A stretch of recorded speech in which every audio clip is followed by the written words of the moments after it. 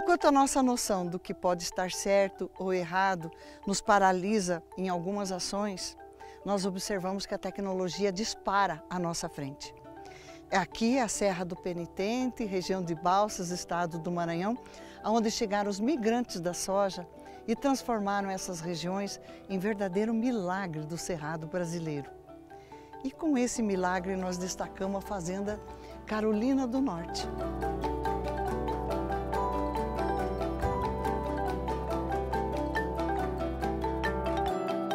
Isso que a gente está intensificando na nossa propriedade, é a a legítima agricultura sustentável. Né? Você está incrementando uma massa verde, uma adubação verde, você está criando uma biota do solo mais ativa. A gente quer o resultado final, mas preservando o solo. Porque a terra, por natureza, se você devolve para ela, você entrega para ela, ela te devolve.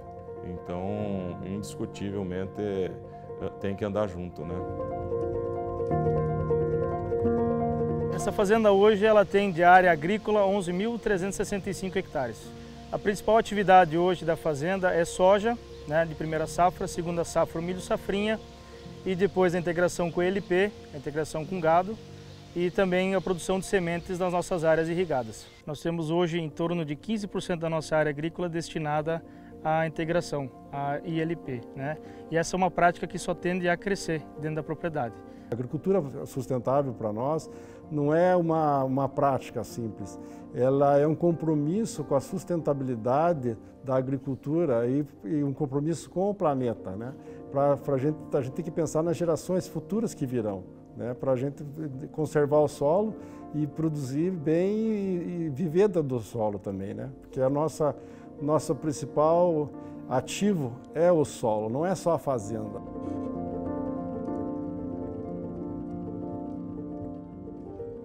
Nós produzimos hoje em torno de 15 mil sacas de, de, soja. Né? Uma boa qualidade de semente, né, ela nos garante uma ótima implantação da nossa cultura principal, que é a soja. E através de uma boa implantação, a gente consegue realizar boas práticas agrícolas, né? que é o nosso monitoramento de pragas, a utilização dos produtos biológicos. Isso tudo fecha o contexto de sustentabilidade, que é o nosso projeto desde o campo, desde o plantio até a colheita, do manejo até a colheita. A gente tem aí todo o carinho com a semente, porque a gente sabe que é onde começa todo o processo, né? Todo o processo de implantação e é isso que vem o sucesso da, da nossa lavoura, né? A gente sabe que é o começo, então é aqui que a gente tem que dar o maior zelo, o maior amor é, nesse iníciozinho, porque a gente sabe que está entregando qualidade no início e com certeza a qualidade vai vir aí colhendo os frutos, né?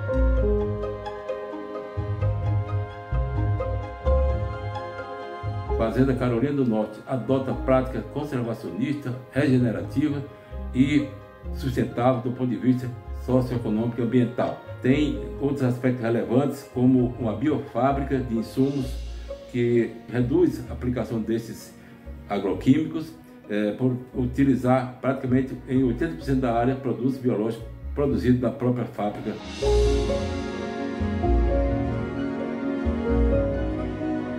É muito gratificante, né? É um trabalho que é um reconhecimento do trabalho de muitos anos. Todos nós aí estamos muito felizes com esse de participar desse evento, né? Sinal que nós estamos no caminho certo. Ah, foi uma honra para todos nós, né? Meu pai, que chegou há 35 anos atrás no Maranhão, uma fronteira agrícola onde não tinha nem estrada, não tinha lugar para ficar, não tinha nada. E, e a gente teve muitos desafios. E a família Tax, ela, ela foi muito resiliente. Para nós valeu muito.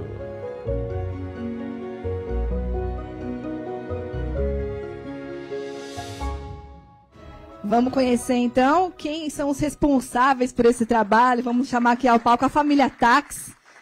Convido então aqui ao palco João Guilherme Tax, a Maria Vitória Tax, Isadora Grax e Manuela Eula Tax. São a terceira geração da família Tax aí à frente da fazenda. João, a palavra é sua. Parabéns para vocês. Tudo bom? Boa tarde a todo mundo. Quero agradecer primeiramente ao pessoal do Canal Rural que está nos reconhecendo com esse prêmio, que acredito ser extremo, é, extremamente importante para o futuro do agronegócio brasileiro, para o futuro do agronegócio mundial. Quero também trazer aqui meus agradecimentos ao nosso diretor é, operacional, como também nosso gerente, que é o diretor, meu pai, o gerente, o é, Diego Chardon, que apareceram no vídeo, que hoje não puderam estar presentes aqui conosco. E também quero trazer todo o meu, meu agradecimento a todos os nossos colaboradores do grupo, porque a gente sabe que a sustentabilidade ela tem que se basear junto com o social. Então, todos os, os pontos andam junto. Também quero é, agradecer imensamente a Gisela, da FAPSEM, onde nos orientou, nos, é, nos orientou no caminho para buscar essa sustentabilidade, onde hoje não é fácil. Nós não tínhamos o conhecimento, nós começamos, estamos em, em crescimento do aprendizado sobre agricultura sustentável. Eu acredito que daqui para frente, cada vez mais, ainda mais com essa visualização que o canal Rural está trazendo para essas práticas. E agradecer a todos vocês por estarem aqui e por esse prêmio muito importante para todos nós. É isso, obrigada. Quero chamar aqui o Roldo Goy, que é o diretor executivo da Integrou, para entregar esses prêmios e para fazer uma foto bem bonita aqui de vocês. Parabéns mais uma vez.